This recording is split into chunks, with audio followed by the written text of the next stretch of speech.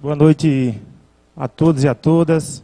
Cumprimentar o plenário é, dessa casa em nome da vereadora Ivanete e desde já, vereadora, me solidarizar pelo crime de misoginia que a senhora sofreu pelas ruas de Morro Chapéu. Cumprimentar a mesa diretora, cumprimentar a todos que estão a nos assistir pela TV Chapada, pela TV Câmara e a todos que estão aqui nos acompanhando nesse auditório cheio e lindo, né? Então, é, nos dirigir de maneira respeitosa à mesa diretora dessa casa e dizer que a gente, durante o nosso primeiro ano, tivemos várias divergências, é, mas sempre procurei me pautar pelo respeito. Ainda quando protocolamos vários ofícios, requerimentos, solicitando atas, quando solicitamos requerimento para que pudéssemos ingressar com a ação junto à mesa diretora, que nos sentimos, de certa forma, é, desprestigiados pelos, pelos colegas vereadores, eu digo de maneira generalizada, porque a gente é, prega muito a questão da relação, do respeito, e a gente percebeu nitidamente que faltou um pouco mais de empatia dos colegas quando nós, aqui nessa casa, fomos, quando nos sentimos desrespeitados mas a gente sempre pautou de maneira respeitosa a todos e a todas. A gente, como a, a vereadora Ivanete colocou, depois de um longo tempo sem debates, depois de um longo tempo sem a gente se pronunciar aqui na tribuna dessa casa, para falar para os nossos familiares, nossos amigos, os militantes, as pessoas que, por incrível que pareça, algumas pessoas tentam se esconder ou acham que as redes sociais não chegam longe, a gente consegue chegar até outros países pelo alcance das mídias, a gente consegue chegar aos quilombos, às áreas de reforma agrária. Aproveito para mandar um abraço à Neidinha e a Milton, que está nos acompanhando pela TV Câmara, de lá de Queimada Nova, não perde uma sessão da Câmara.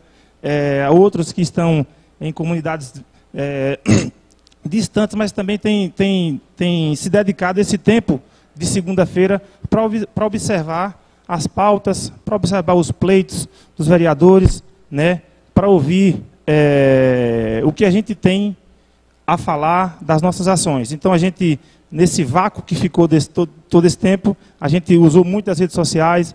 Na, na sessão passada, fizemos uma live aqui com os vereadores que estavam presentes, e a gente quer fazer aqui um rápido release de todo esse histórico que aconteceu é, desde o dia, salvo engano, dia 19 de setembro, a última sessão ordinária dessa casa, que a gente pôde é, se dirigir de maneira formal aos munícipes de Morro Chapéu. Então, processo político, processo eleitoral, eleições gerais no Brasil, um ano importante, onde as pessoas tiveram que se posicionar, lamentar por aqueles que ficaram em cima do muro, né, mas é, que acabou prevalecendo o projeto que havia melhor em curso na Bahia e no Brasil. Morro de Chapéu sagrou-se nesse processo eleitoral muito vitorioso em várias frentes. Quando eu digo vitorioso em várias frentes, é que a gente percebe claramente o quanto a oposição sai fortalecida nesse debate. O debate que as urnas trouxe e escancarou para o Morro de Chapéu e para toda a Bahia foi de que o Morro de Chapéu não está feliz. O alinhamento de gestão com alinhamento popular não funciona. Né? Não existe esse alinhamento. A pauta do respeito, da solidariedade, do amor e da empatia não funciona, não está funcionando. Mas não quero aqui deixar é, nítido e claro por onde é que a gestão tem que caminhar. A gente vai aprendendo e vai, vai nos moldando na política, que a gente também tem que ter a sabedoria de fazer o enfrentamento, mas também tirar proveito dos desgastes políticos. E a gente viu claramente o quanto é, de despreparo e de desrespeito a gente percebeu na vinda do nosso governador ao município de Morro de Chapéu. A maior autoridade do município, a maior autoridade do estado da Bahia foi recebido como marginal por quem deveria receber bem. E eu vou aqui só fazer um comparativo do que é política, do que é respeito, do que é lado. Na semana anterior da vinda do governador é, Rui Costa, Morro de Chapéu, vereador Gilvan, o candidato a governador do estado da Bahia, o candidato João Roma, esteve na cidade de Lapão. João Roma é opositor do prefeito Márcio, prefeito Márcio, né, que é ligado ao Otto Alencar. Mas a assessoria, vereadora Betânia, do, do candidato João Roma, ligou para a assessoria do prefeito Márcio, solicitando, é, dizendo qual o percurso que faria na cidade e onde iria se é, fazer, onde iria ali ficar com. fazer a reunião vereador, com seu um grupo. minuto, vereador. Certo. E, é, tido e claro que ficaria a um quilômetro e meio da cidade, em um sítio, o, o prefeito Márcio orientou a equipe de, de infraestrutura da cidade que molhasse o roteiro que o candidato opositor, João Roma, ia fazer. Determinou que o caminhão-pipa fizesse todo o percurso e que a Guarda Municipal acompanhasse para dar toda a segurança àquele, àquele, àquele candidato que era opositor. Na, na, na, política, oposição se trata como oposição, não, não como marginal. O que a gente viu aqui no Morro de Chapéu foi, vera, foi verdadeiramente um ato desrespeitoso, um ato covarde, ato de meliciana. Não repito, repito várias vezes, ato de meliciana. Quem acorrenta ruas, quem impede a passagem da democracia, a gente sabe onde é que acontece isso. Morro de Chapéu não está não tá acostumado com isso. E é por isso que Morro de Chapéu resolveu dar um troco, resolveu dar uma resposta. O que a gente quer, minimamente, é viver em espaços, né, de, frequentar os mesmos espaços, os mesmos ambientes, mas ser respeitado como seres humanos. Não cabe mais a política do chicote, e é por isso que Morro do Chapéu deu a Jerônimo Rodrigues, no dia de ontem, 11.890 votos, e deu a Lula 15.165 votos. Uma vantagem estarrecedora. À frente de Jerônimo, com relação ao nosso opositor, o candidato derrotado a CM Neto, foi de 4.400 votos.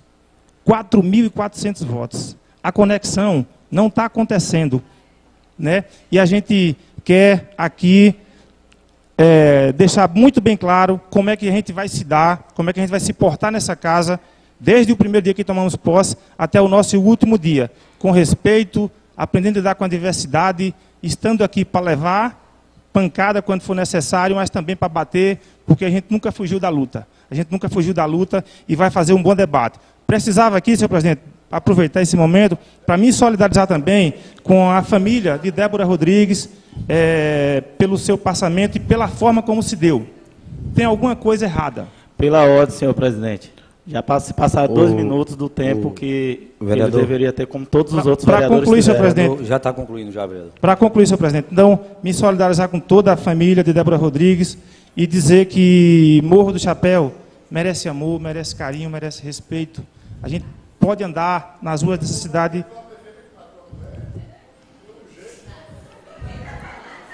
Vereador, pode concluir, vereador, por favor. Eu nunca, eu nunca disse isso. E também nunca disse que deu tapa ou que levou tapa. É, é o proveito político, vereador, de maneira respeitosa. Exatamente, de maneira respeitosa. Como sempre respeitei. Não, vereador, de forma nenhuma. Forma daí, nenhuma. O vereador está com a então, palavra, deixa pra, ele só pra, concluir, pra vereador, concluir, por favor. Para concluir, senhor presidente, é, dizer que CPI, toda CPI é bem-vinda. Agora, era bom que a gente fizesse um registro de quantas vezes a CPI foi estado nessa casa. Cadê a CPI do Hospital, Hospital Municipal São Vicente de Paula? Só uma parte. Cadê a CPI? Senhor presidente, uma parte, senhor presidente. irregularidades. Só Senhor presidente, nós somos maioria nessa vereadora, casa, senhor presidente. Nós respeitamos Isabela, o regimento, vereadora, ficamos cinco minutos falando. Por que, que o vereador Isabela, Lula está usando a, a bancada, que, agora o plenário? O senhor não pode. Quem está com a senhor palavra é o vereador. Não existe isso. Nós somos maioria, são maioria nessa casa. São maioria, são maioria nessa casa. São maioria. Respeita a gente. Não existe respeitar. isso, senhor presidente. maioria. Cinco minutos é o tempo regimental, senhor presidente. Respeitar. O vereador tem mais de oito minutos falando. Fazendo respeitar. campanha política. Peraí, senhor presidente. É uma parte, senhor presidente. Ô, Lula. Para finalizar. Vereador Janete, quem está com a palavra é o vereador. Pra Só finalizar, ele pode apartar, viu? Dez segundos. Para finalizar, é, vereadora Isabela, que é presidente da Comissão de Direitos da Mulher. Ela fala em respeito. Senhor presidente, senhor presidente,